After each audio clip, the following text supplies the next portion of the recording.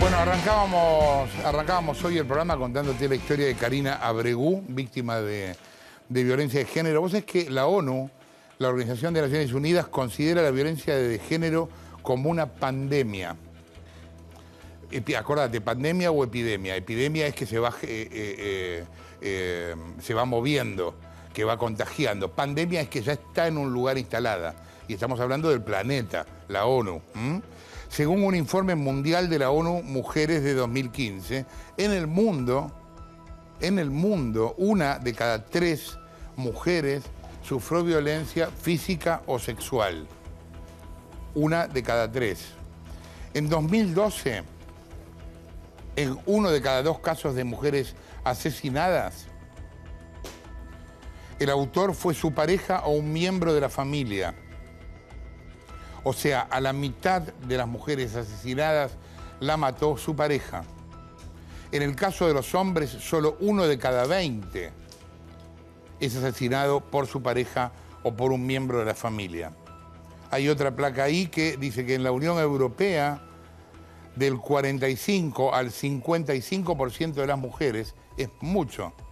¿eh? Cinco, de 5 a 6 de las mujeres en Europa sufrió acoso sexual desde los 15 años.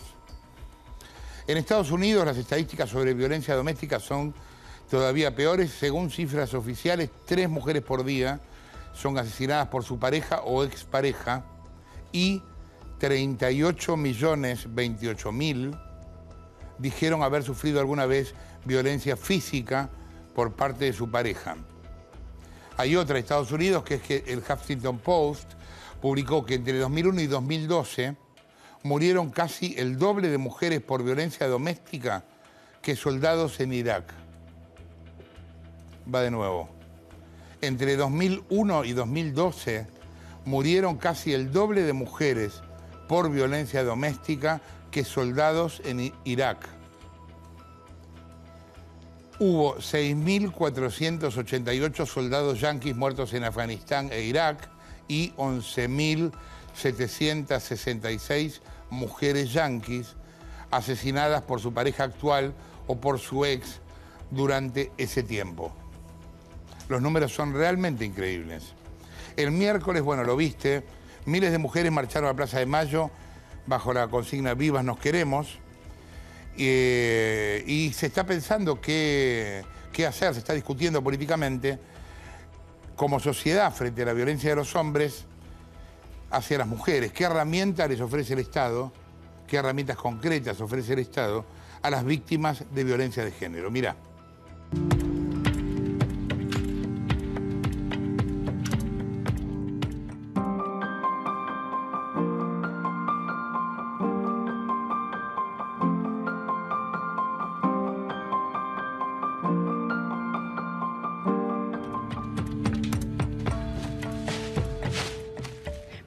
Denunciar a mi ex marido, es un violento manipulador, eh, atentó contra mis hijos en muchas ocasiones, a mi hija intentó prenderla a fuego, a mi hijo chiquito lo arcó, le dejó las, las manos negras en- marcadas en, en el cuello cuando tenía tres años, a mi hijo más grande le quebró la mano, estuvo todo el verano con yeso, le pegó con una cadena. Yo soy separada hace seis años porque el padre era muy agresivo, me golpeaba mucho. A raíz de eso, mire, tuve una tercera CB de tantos golpes que me dio en la cabeza. Ahora tengo problema al corazón. Me vivía pegando. Le aguanté muchos años que hasta prendió fuego el auto. Mire, nos quería meter a nosotros, a mí y a mis ocho hijos y prendernos fuego allá adentro. Y como no le permití eso, Me empujó, me golpeó, me dio patadas. Y yo no provoqué a que sea más porque yo tenía que trabajar, no iba a ir golpeada. Me saqué los anteojos porque me dijo, te voy a cagar a trompadas si no. Conocimos a Lilia, Andrea y Natividad en la comisaría de la mujer de Merlo.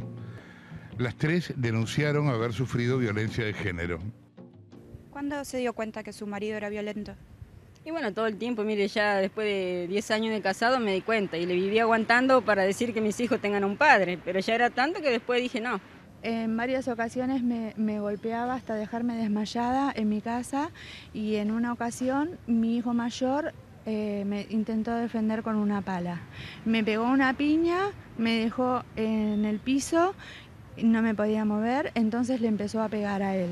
Me amenazó porque él no pudo traer algo que dijo que lo iba a hacer, entonces yo le dije, ¿por qué no cumplís con tu palabra? Entonces me dijo, no me rompa la...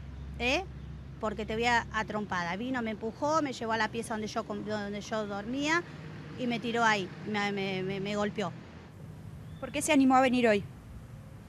Porque, me, porque le dijo a mi hijo que lo va a matar. Me parece que yo no quiero tener un hijo enterrado. La verdad que no. Estoy dispuesta... No sé. No quiero enterrar a un hijo. La Comisaría de la Mujer de Merlo encabeza el ranking de denuncias. Recibió más de 5.000 este año, pero no es la única. En la provincia de Buenos Aires hay otras 125 comisarías de la mujer. Estuvimos en Malvinas Argentinas, Florencio Varela y Avellaneda. Esta comisaría lo que tiene en particular es eh, atiende eh, a mujeres víctimas de violencia y lo que realizamos es trabajo de contención y asesoramiento. Desde el momento en que la persona se acerca a la comisaría, eh, se le retoma la denuncia y después eh, se le invita también, tenemos un gabinete interdisciplinario con abogado y psicólogo y psicólogo social Acá lo tenemos a los chicos cuando la madre está haciendo la denuncia. Eh, este es un espacio para que ellos eh, no estén presentes cuando eh, se le está tomando la denuncia y, no escuchen quizás lo que denuncia la madre. Estas son ropitas que traen las compañeras, ¿sí? Para, para, los niños que quizás vienen a la madrugada acompañados de sus madres o en el transcurso del día, hace frío y están sin abrigo, entonces bueno, eh, es para ello, ¿no? para que lo utilicen.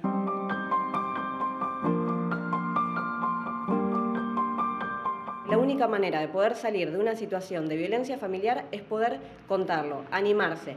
No hay que tener vergüenza porque a cualquier persona le puede pasar, de cualquier estrato social, y ante la menor duda de que uno esté atravesando alguna de estas situaciones, poder hablarlo. Línea 144, buenos días. Desde el año 2013 funciona una línea nacional de atención a las víctimas de la violencia de género. Es la 144 y atiende las 24 horas. Es una línea de asesoramiento, información y contención a mujeres en situación de violencia.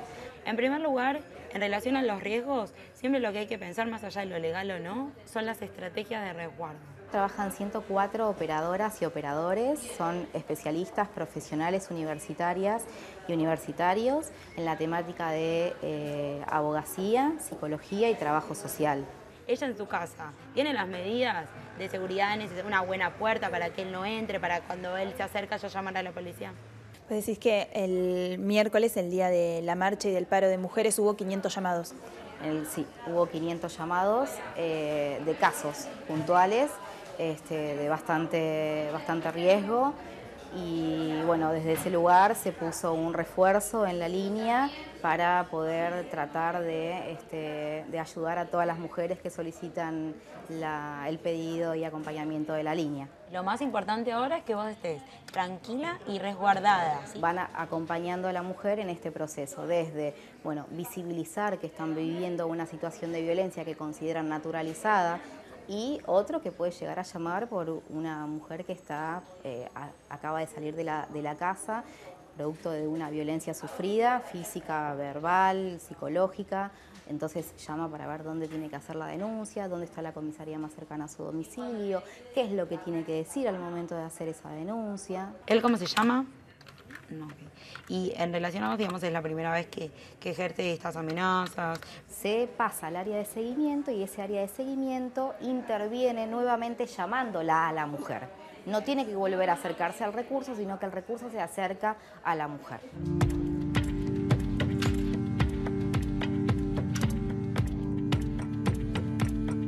El 90% de los llamados que se reciben en la línea 144 son llamados por violencia doméstica y en más del 70% de los casos las mujeres denuncian agresión física. En el último tiempo se ha incrementado la atención de este tipo de pacientes sin que se den oleadas en especial en algún momento, digamos, en una forma paulatina, ha ido increciendo en forma permanente.